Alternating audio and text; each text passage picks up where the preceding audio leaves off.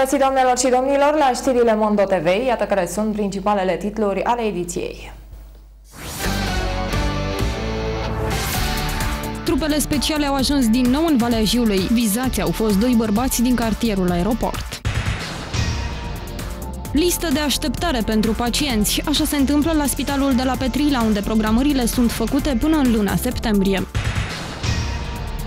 Ziua de mâine, 1 august, va fi consemnată în istoria mineritului ca prima zi de funcționare a complexului energetic Hunedoara.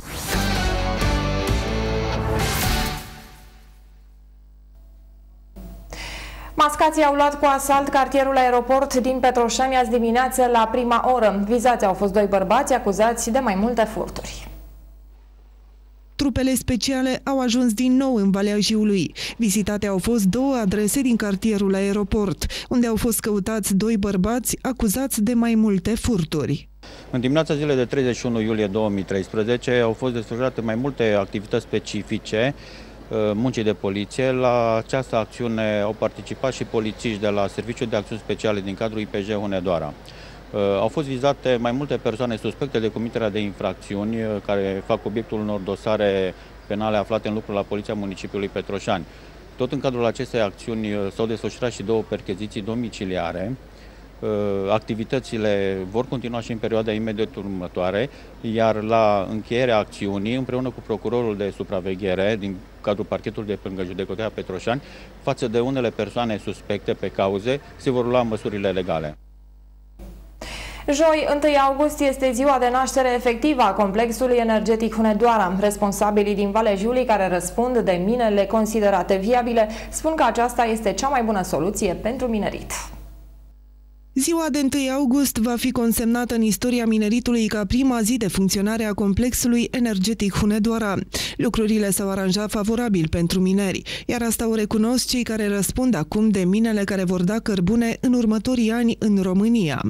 Înseamnă că de la 1 august vom funcționa ca complex energetic Hunedoara, SNH-ul nu va mai fi, va fi complex energetic Hunedoara, uh, este un lucru benefic pentru Valea Jiului, cum am mai spus-o și în alte, cu alte ocazii, deci considerăm că este, este un lucru benefic pentru păstrarea locurilor și continuitatea mineritului în Valea Jiului. Tribunalul Hunedoara a decis în ședința din 5 iulie 2013 înființarea complexului energetic Hunedoara, dar el va prelua minele viabile abia la 1 august. Asta din vina birocrației, pentru că a durat câteva zile operarea la Registrul Comerțului. Pacienții din Petrila așteaptă și câte două luni pentru a se interna în spital. Programările aici s-au făcut până la sfârșitul lunii septembrie.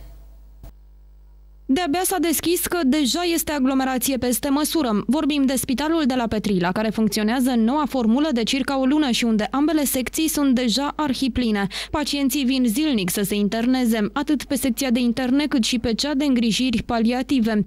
După ce uh, cetățenii din Petrila și nu numai cetățenii din Petrila au aflat că s-a redeschis, așa uh, zic dumnealor, spitalul de la Petrila, practic este secție exterioară a Spitalului Petroșani. Uh, sunt multe solicitări, eu de la spital vin acum, Uh, sunt solicitări, chiar veniseră două femei și întreba pe medicul, pe doctorul Tecar, când pot să fie internate. De altfel, în nicio lună aici s-a dovedit că un spital în oraș era un lucru mai mult decât necesar. Ba mai mult, că numărul actual de paturi și acesta obținut cu greu este chiar insuficient. Și, în plus, aici ar mai fi nevoie de încă o secție. Capacitatea spitalului Uh, acum 2 ani era de 70 de paturi, acum sunt doar 30 de paturi cu internare continuă și este necesar măcar încă o secție cu măcar 20-25 de paturi care să facă față și să nu aștepte oamenii uh, săptămâni și luni de zile pentru internare. Această secție ar trebui să fie ce specialitate? Ca părere personală și din discuțiile cu medicii de la Petrila, ar, fi, ar trebui să fie o secție pentru recuperări. Spitalul din Petrila s-a redeschis în data de 15 iunie într-un cadru festiv, după ce unitatea a stat închisă aproape 2 ani din cauza reorganizării sistemului sanitar românesc. Nu vor mai sta la caseriile Apaserv să-și plătească facturile. Vorbim despre oamenii care locuiesc în Valea Jiului și care deja au primit facturi ce pot fi achitate la bănci sau la magazine. În plus, nu mai este mult până când vom da citirea apometrelor online și tot așa vom primi și factura. Conducerea APA Servalea Jiului vine cu o idee deja implementată de alte societăți la care ne plătim utilitățile. Factura cu cod de bare. Ea deja a fost emisă din luna iulie și directorul APA Serv, Costel Avram, susține că acum negociază cu mai multe bănci. Facturile emise au cod de bare și oamenii pot plăti la payponturile din magazine, așa cum fac la gaz sau energie electrică. Începând de luna lui iulie, am uh, emis facturile, toate facturile care sunt emise de SICA Paser au cod de bare. Acum am semnat contractul cu uh, o bancă, cu BCR și în același timp uh, încercăm și am găsit soluția pentru a se plăti atât la BCR, la bancă, cât și prin Payer Ponturi. Și eu sper că, începând cu facturile din luna august, care vor fi emise în august, uh, oamenii să au și această posibilitate de a nu merge la, neapărat la rând la, să stea la apa serv, ci poate merge atât la bancă, cât și în uh, magazine unde sunt instalate acele pay ponturi pentru a putea plăti. Chiar dacă pe noi se apa serv ne costă ceva, dar venim în, în uh, în sprijinul cetățenilor care nu pot să meargă după servici sau să, la sediile și caseriile SCA Servalea Jiului.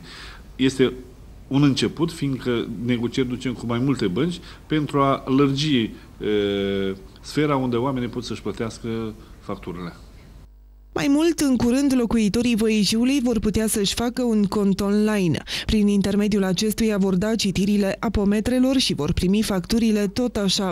Aceasta fiind o inițiativă la care încă se lucrează. Deocamdată acest lucru va fi valabil pentru cei cu branșamente separate ne gândim pentru a veni în sprijinul cetățenilor și să implementăm un program în care cetățenii care au branșamente separate să poată da citirea direct la secea Paser Valejiului pe site și în același timp ă, noi să putem emite factura și să o trimitem prin mail-uri.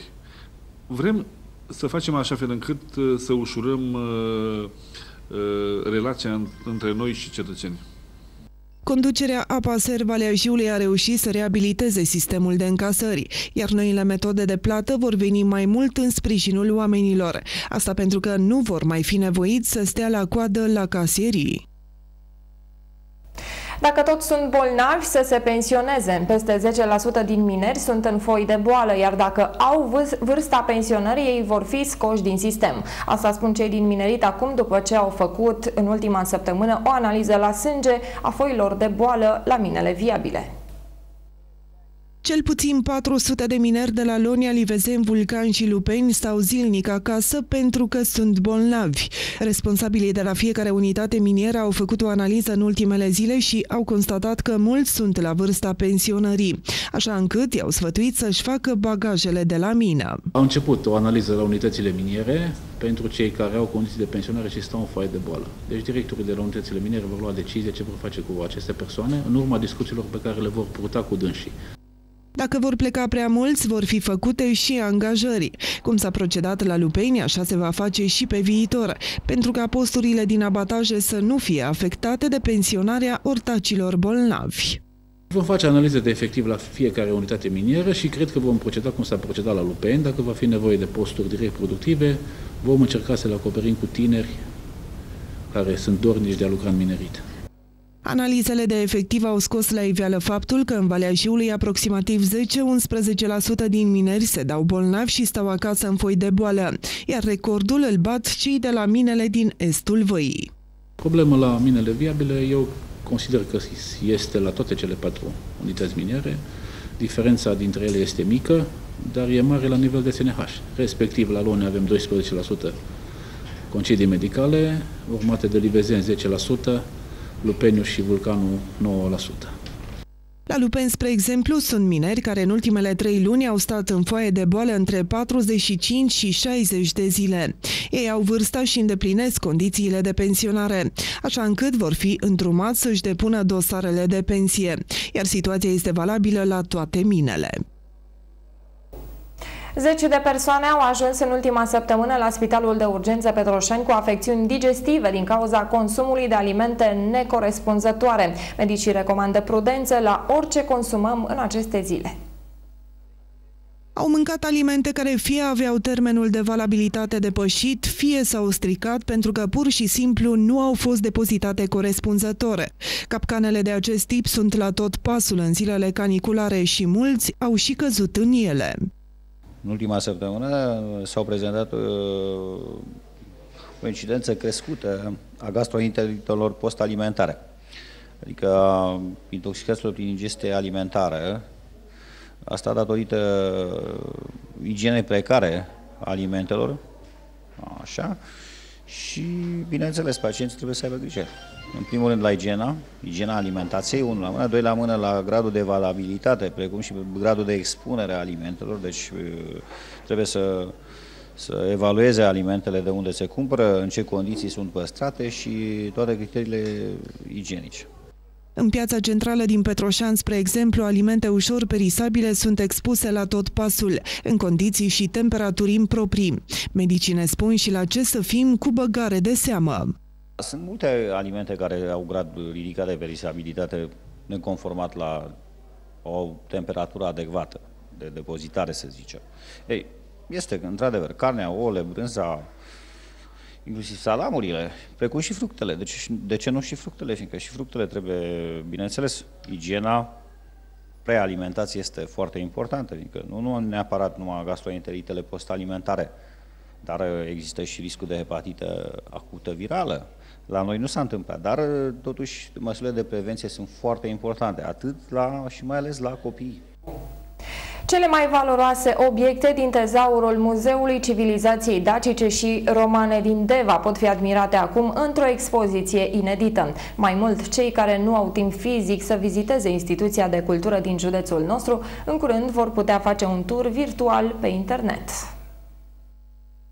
Muzeul Civilizației Dacice și Romane din Deva, în colaborare cu portalul media regional știri din vest.ro, au demarat o acțiune menită să promoveze la nivelul regiunii vest cele mai interesante obiecte aflate în patrimoniul său. Exponatul lunii iulie a fost volumul intitulat Antichități în Transilvania de azi, din timpurile când această țară era stăpânită de romani, tipărit la Viena în 1775, volumul face parte din colecția de carte veche și rară a Bibliotecii Documentare a Muzeului din Deva și a putut fi admirat de toți cei care au trecut pragul muzeului în luna iulie.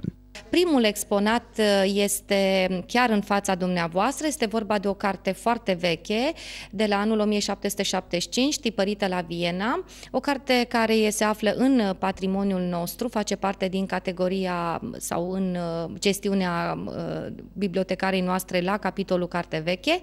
Practic ne dorim ca prin acest concept nou, exponatul lunii la MCDR, să promovăm rând pe rând toate obiectele pe care noi le avem în, în depozitele noastre și care nu pot fi expuse în cadrul unor expoziții, încercând la finalul anului să avem deja o expoziție virtuală. Mi se pare frumos, e emoționant, n-am mai fost de foarte mult timp și încă n-am apucat să vizitez tot, de-abia aștept să vizitez restul lucrurilor. E... Ați văzut și o carte foarte, foarte veche a muzeului. Da, și lucrurile astea, bineînțeles că aduc emoții și mă bucur că există și omul, oamenii încă pot să o vadă, să, o, să știe despre ea, să vadă lucruri noi. Este o oportunitate de a vă îmbogăți cunoștințele până la urmă. Da, și de a vedea istoria. Reprezentanții muzeului din Deva mai spun că prin această acțiune, exponatul lunii, instituția hunedoreană face pași mari pentru a ajunge muzeu regional. Începând cu luna iulie 2013, Muzeul Civilizației Dacice și Romane din Deva, în parteneriat cu portalul știridinvest.ro, dorește să promoveze patrimoniul uh, muzeal, patrimoniul cultural pe care noi îl avem, la nivelul regiunii, pentru că tot vorbim de regionalizare și pentru că noi ne dorim să devenim un muzeu regional.